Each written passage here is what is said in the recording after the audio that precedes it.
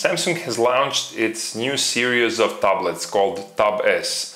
They come in 8.4 and 10.5 uh, inch diagonals. Today we have an LTE version of 8.4 Galaxy S Tab. For more, check our review.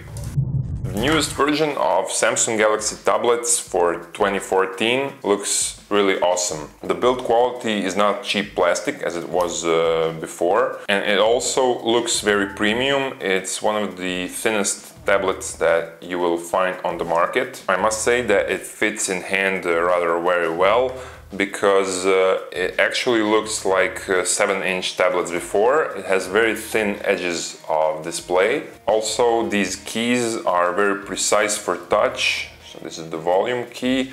Uh, you get micro SD port, uh, you get infrared port, and you get a SIM port that uh, for, for using 4G uh, but also, which is interesting, you can even use the telephone, telephone with this device. Uh, it'll be a bit weird if you put this uh, on, on, your hand, on your ear, but uh, you can use the headphones. As I said, this plastic uh, doesn't look cheap, it's very premium. Uh, these, uh, these buttons are for original cases for this device. And regarding ergonomics, I like that you get physical and two virtual keys below the screen. They're not part of the screen, so they don't make the screen smaller and you know always where they are and you can press the physical key whenever you want to get back on the home screen. Regarding display, as you can see, this is one of the best displays that you will find on tablets these days. Uh, very good viewing angles and this AMOLED uh, provides awesome color reproduction. I really like the way uh, colors look.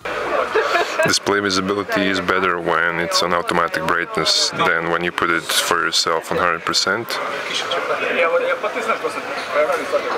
And although this is a very good screen, uh, it seems that outside in direct sunlight or outdoors in direct sunlight, it isn't that visible. Still, you'll be able to use it, but it's not among the best screens uh, that we've seen outdoors on tablets and the keyboard on this device is same as on all the other uh, Samsung devices. You get numbers on the top, uh, you get comma and the point on the first screen, which is very good. Android comes, of course, in the newest 4.4 KitKat uh, version with, uh, for me, I think, the best uh, upgrade uh, TouchWiz UI. I like the way this upper dashboard with those fast icons looks like. It's, it's very intuitive, you get all the notifications here. Uh, it's, it's, I think it's the best Android you will find on any tablet uh, today.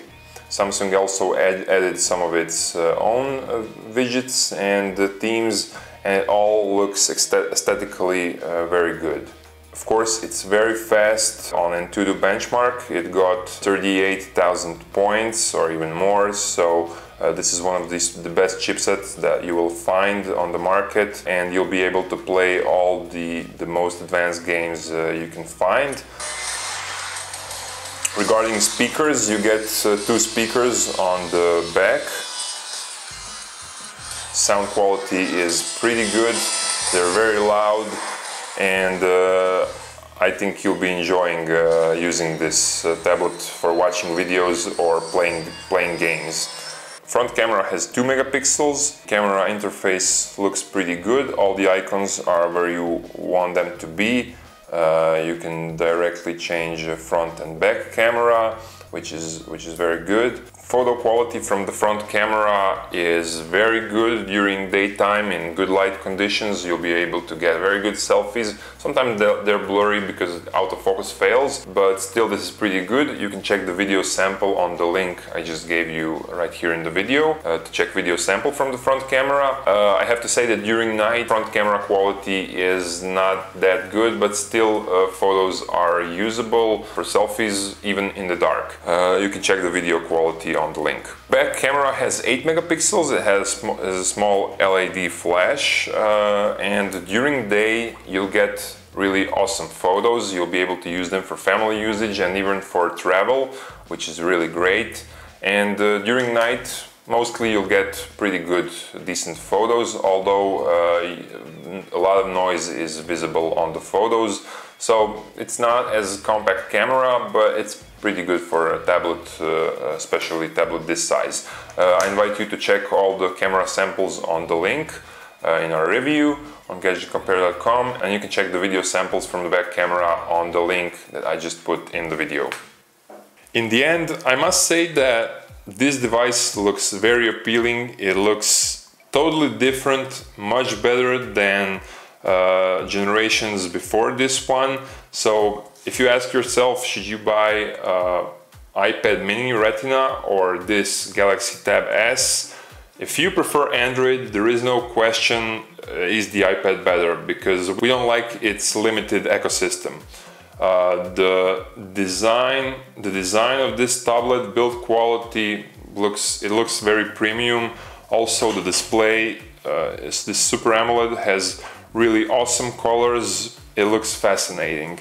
Um, again, uh, the Android upgrade on Samsung devices, uh, in my opinion, is the best ever on tablets. So this is, for me, the best tablet uh, that will easily fit in your hand. Uh, you can carry it around. So this is the best tablet uh, with Android you can find today. If you prefer Apple ecosystem, you should buy Apple Mini Retina. But regarding Android, this is the best device you will find. It has thin edges of the display, uh, display is awesome, uh, and build quality is very premium. Uh, also, I would recommend to buy Wi-Fi version, not the LTE one, because you can use the hotspot from your smartphone. That's all from me. For more about this device, check our review uh, on the link uh, up there uh, on gadgetcompare.com to see what grades we gave to Tab S 8.4. Also, you can check the uh, review of Apple iPad mini Retina that I did before. And uh, that's all from me. Thanks for watching and feel free, feel free, and feel free to subscribe for more of our videos.